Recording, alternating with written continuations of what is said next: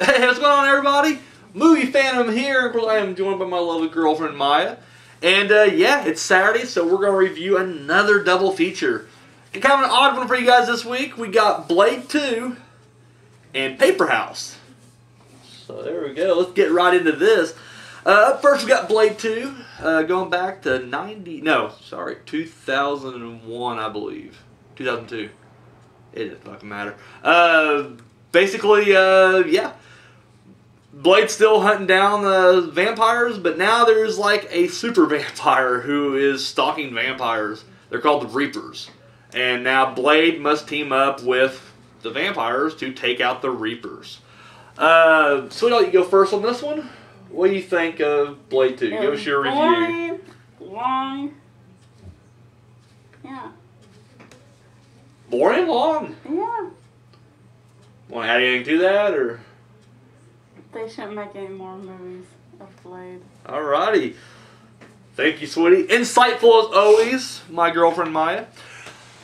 All right, so I've never seen a single Blade movie. It just did not appeal to me. I'm not big on fucking action horror movies for the most part.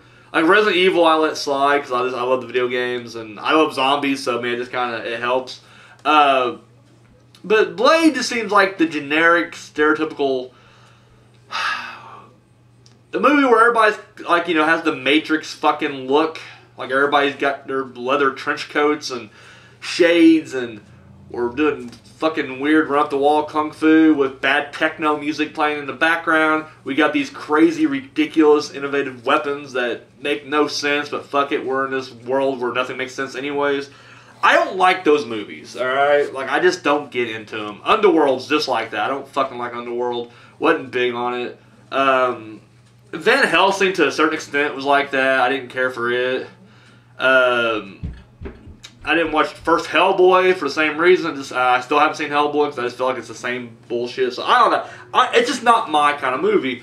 But once again, on this show, I try to you know I, I don't just stay within my comfort zone. I like to branch out. I like to see things I've never seen before. I take a lot of uh, viewer requests, and uh, anyways, it, I came across this one. And uh, so out of the three Blade movies, you got Blade, Blade Two, and Blade Trinity.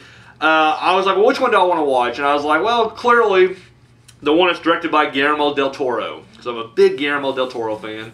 Uh, you know, The Orphanage and uh, oh, sorry, he, he just produced that one. Uh, Devil's Backbone, Pan's Labyrinth, and uh, of course he did Hellboy too. And I like Hellboy too. Uh, even though I don't have the desire to see the first one, I know he directed that one too, but that one looks like uh, so. So anyway, I was like, yeah, I was like, all these three, I'll check out Blade two. So I was like, I'm sure the plot won't be that complex that I'll be lost, and I, and I wasn't.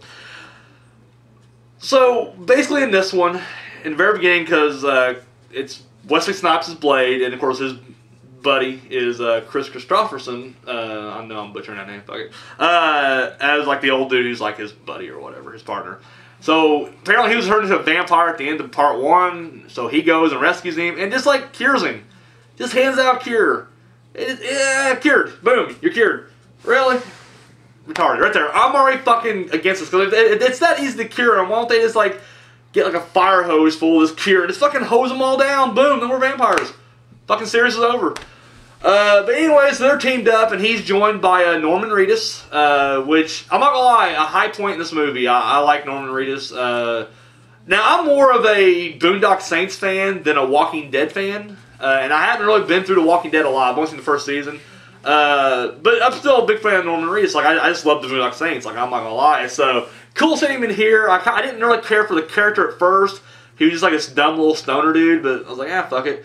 Um, so yeah, so you know it's those guys. Well, then you find out that you do have these super vampires. Uh, it just reminds me, like, as I'm watching it, because I know it came out way before this, but there's an episode of Family Guy where Peter goes, "I have an idea for a movie called Bigger Jaws." And basically, the humans had to team up with Jaws to fight bigger Jaws. And it's just the most ridiculous thing you think of. That's this movie right here. Like, well, what's worse than vampires? Super vampires that eat on vampires. And I don't know. It was just one of those things where I'm just like, I don't care, but whatever. I'm here. I'm watching. Let's just go for it. And uh, of course, now they have to team up. Like he teams up with like the clan of vampires that's been hunting him and he's been hunting them. I mean, they, I guess it's just been a war, uh, kind of a lopsided war, but Blade kills them all anyways. But anyways, so he, he's they team up, they put their differences aside to take on um, these Reapers, and um, has Ron Perlman. He's uh, one of the vampires that's teamed up with him and everything. So I don't know. As I'm watching it, I it's it's so fucked up because it's like it is like the most action packed fucking movie. Like there's just like a fight scene every like three minutes. It's just fucking insanity. Fucking chase scenes and fight scenes and oh, there's motorcycle crashes and there's fucking people fall from the sky and there's machine guns and these fucking sword fighting shit. And it's just like, who gives a shit? Like, I am so fucking bored. As like, literally three minutes in, I'm just like, oh, who gives a shit?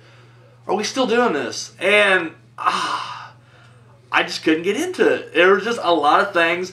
Uh, spoiler alert, because this has been out for a while. Um, there's supposed to be like all these crazy twists and turns that I feel like they just kind of threw in there. Like I, the first one, you a you know it's going to happen anyways, but it's like the vampires turn on Blade. You know, they're teamed up to take on the thing. And okay, I'm like, okay, I'm not gonna fault it for that one, all right? Like, okay, granted, it wasn't that big of a shock, but at the same time, I'm like, eh.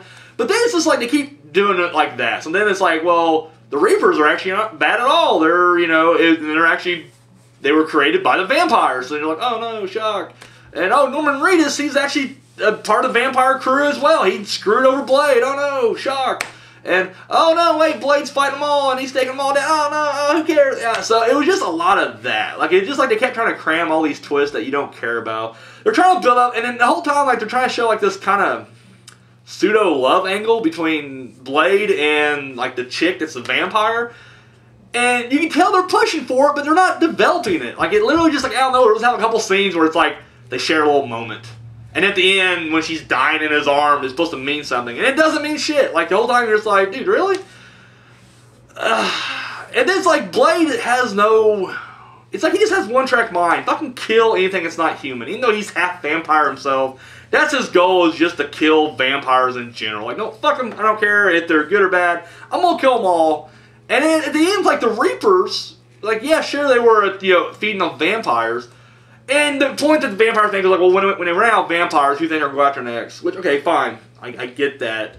But it seems like after you find out, like, the vampires were very evil and they created these Reapers and then are torturing them and trying to, you know, kill them as well, it's like, you think, like, Blade just be like, alright, turned out this asshole played us both. Hey, good day. I'll catch you later. No, he's like, I'm gonna kill this fucking asshole too. No, it's just like, really? I don't know. I just, ah. Uh, I'm focusing on the bad. Let's focus on the good for a second, shall we? Uh, performances aren't bad. I, I dug, uh, like I said, Ron Perlman. I'm a, I'm a Ron Perlman fan. Uh, Wesley Snipes does okay. I mean, I'm not big on Wesley Snipes, but you know. In fact, there's only one Wesley Snipes movie I like. That's Major League. Like I just don't really care for that guy in general. But anyways, no. I mean, everybody does good in this. Uh, the direction wasn't bad. Uh, there were a lot of little when you watch a Guillermo del Toro film, there's just you can just tell off the bat. And this one, I mean, you really couldn't, but there were certain signs, like little flashes of del Toroisms, if that's even a. I don't know if I just made that up or if that's an actual thing. But anyways, I you know there's just certain set designs was just screaming Del Toro. Uh, certain camera movements. He, get, there's one thing he does a lot, and I didn't see it in this one. I kept looking for. It. This is like the one thing I was looking for. Is he'll do a thing where like he'll have like a pillar or a tree or something that comes in the frame, and like the camera just, but then when it cuts behind it, it'll either dissolve into another sh uh, shot or whatever. He does that like all the time. I know like Pan's Labyrinth, he was doing it like a bastard. Uh, Backbone, he does it a few times. So I kept waiting for that shot. It never happened.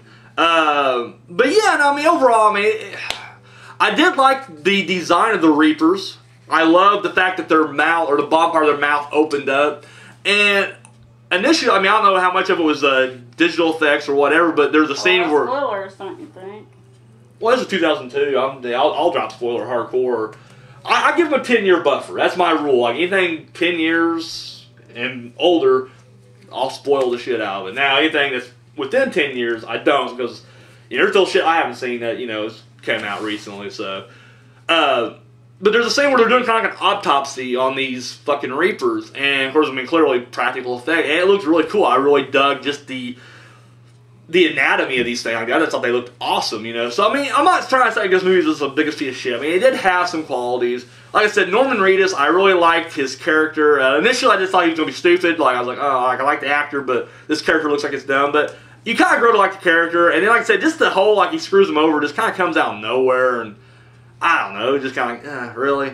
Um, yeah, I'm, I don't know what to say. Uh, and of course, they had bad techno music, like the entire that and uh, the soundtrack. I swear, I heard like three Cypress Hill songs, and then I looked at the credits, and there's only one. So it's like they must have just played that song like three or four times throughout the fucking movie, and I'm just like, really? Um, so yeah, I don't know. I, I have no desire to check out the other Blade movies. Uh, everybody's probably gonna be like, "Well, Phantom, you watched it out of sequence. You can't do that. You gotta have the build up of part one." I don't need a fucking build up. One looked horrible for you know before I even before I even did this show. I was like, these look like shitty movies, and I have no desire to watch them. But I watched part two, didn't care for. Uh, if, if I am to watch another one, I would watch Blade Trinity because I'm a wrestling fan, just to see Triple H. And I think I've seen enough of the clips to kind of be like, all right, I got enough. I got, I got a gist of it. Uh, so yeah, I don't know. I, I know Blade has a lot of fans. I mean, shit, it has like three movies. I think they did a TV movie and a TV series on top of that. Or they did like a bunch of straight to video shit. I don't know. They, they it has a, a, a core audience there. Uh, me personally, I just don't care. And it's another thing. He seems like Blade's unstoppable. Like never once did I feel like he was in any danger at all. Like you're just like, no matter who he goes up against, like, hey, you got, fucking got him. You fucking got this guy. And then he falls into blood. He turns into like Tony Montana. Like when Tony Montana gets coked up, that was Blade in the blood. He just like he comes out and like I'm gonna kill everybody, and he does. Um, so I don't know. I, I personally, for me, this wasn't my thing. But once again, I went into this with a little bit of prejudice, and I was right. I just I'm not big on the action horror hybrids. Uh, with the, with the exception of Resident Evil, not my thing. So, uh, thumbs down. Boom. Up next, we got Paperhouse. Uh, odd, an odd little movie about this uh, little girl who um, it's a British film where she basically she starts drawing in this little tablet of hers. She draws this house, but then when she falls asleep, she visits this house, like in the dream world, if you will. And she realizes that anything she draws in this tablet appears in this dream world. Um, you want to take take this, or you want me to jump in there first? Um. Okay. Um. I liked it. She's like like sick or something, Mm-hmm. and she draws the paper house and that boy and everything. Yeah. Yeah. All right. That's Uh, about the whole story. oh, okay. Like it? Yeah. Like it? Okay. Far out. Uh, we actually got this on YouTube. Actually, uh, they have it. It's all. It's broken. They, they have like a, in a playlist form, so it's like broken up in nine parts, but it's all intact and everything. Uh, yeah, never never seen it before. Uh, randomly kind of came across it, but I was like, I'll check it out. Uh, I will say it's not really a horror movie. Like IMDb kind of had it, like they had the horror you know genre on there. It's not. It's definitely it's dark fantasy. I'll, I will say that. Um, I really love the premise of this movie. Like, cause turn off. I mean, cause I didn't know anything about this movie. Like, I, I was really. This is a blind watch. I was like, oh, Paperhouse, let's check it out. And cause she even asked me, what's it about? Like, I have no idea. Let's just check it out and watch. I didn't even read the summary. I was just like, all right, it's horror. I think different. you're supposed to read the summary. So I you know don't. what it's about. I, I like to jump in just head first sometimes. So we we pop it in, or we, we pop it in. We, we turn it on, we watch it, and like I said, it starts, it starts off kind of slow. Um, but once you kind of get the gist of it, like once she gets to the point where she is, you know, when she draws the house, and then when she goes to sleep, because she, she, has, she also has these, uh, she's like she said, she's sick. She has these uh, fainting spells, but anytime she's asleep or she faints, she goes into this dream world. And once she once she kind of established the rules that like if anything she draws goes there, uh, I dug that. Uh, like she draws uh, this house, but of course there's no one in the house.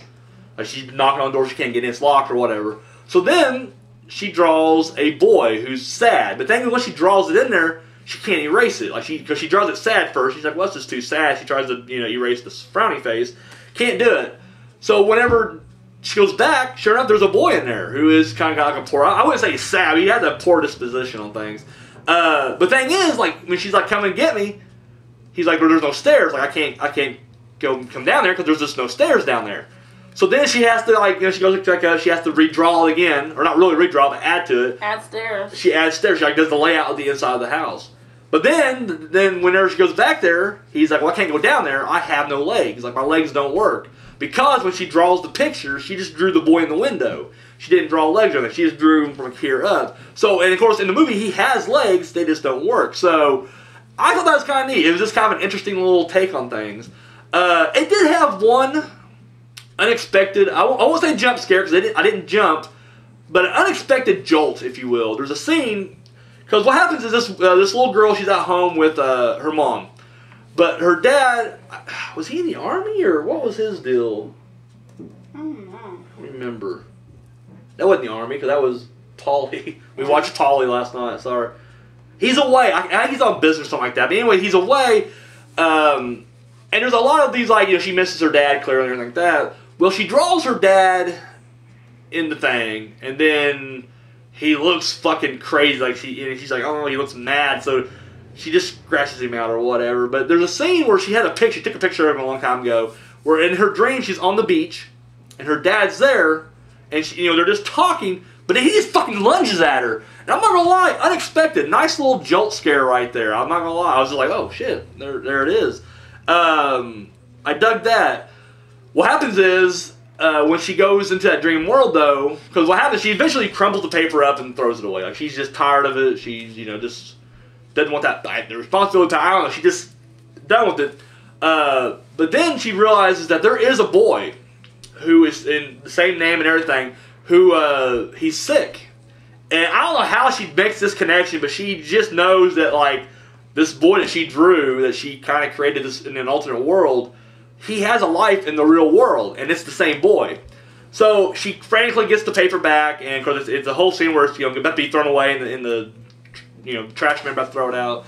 When she uncrumples it, and she goes back to sleep, now the, the the house she built is almost fucking dilapidated, like it's just destroyed, and the walls, which are s- smooth, are now crumpled up as well. Like it's just, it, and I really like that. Uh, but now she did, you know, draw her dad even though she scratched him out. And now her dad, who is you know super pissed off and angry, um, is now stalking them in the dream world. And of course, since she scratched out his face, it's the eyes. Like he has no eyes in this world, so he's blind, and he you know he has his hammer and he's coming after.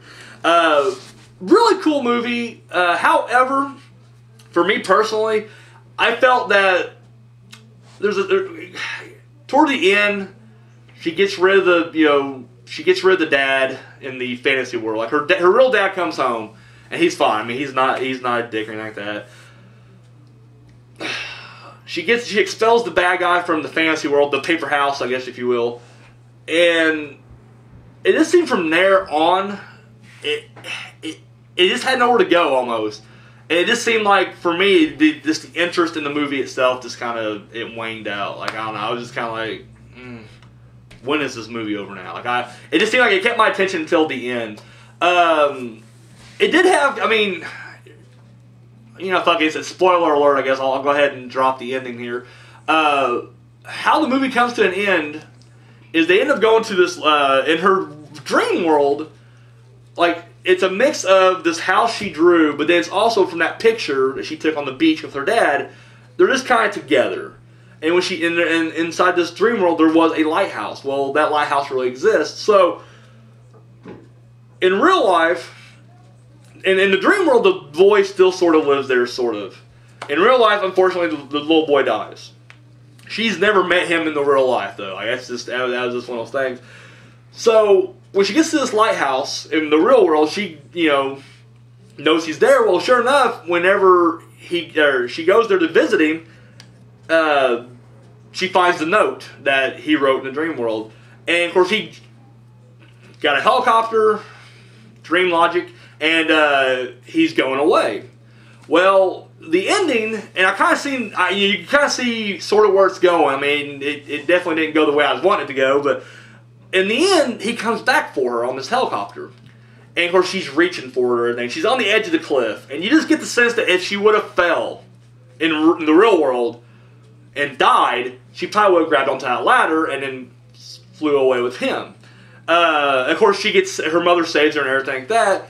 uh, and then of course when you know, when she saves her, then of course the helicopter you know flies away. So I it had a it definitely had like this fairy tale feel to it, and um, it treated everything more on an adult level, and I like that. It wasn't pandering to kids. Like I'm not sure what the rating is for this movie, but it didn't feel like it was a complete kids movie. Like it felt like, like I said, it was almost like like Pan's Labyrinth in the way where you know it was a, a adult fairy tale, if you will.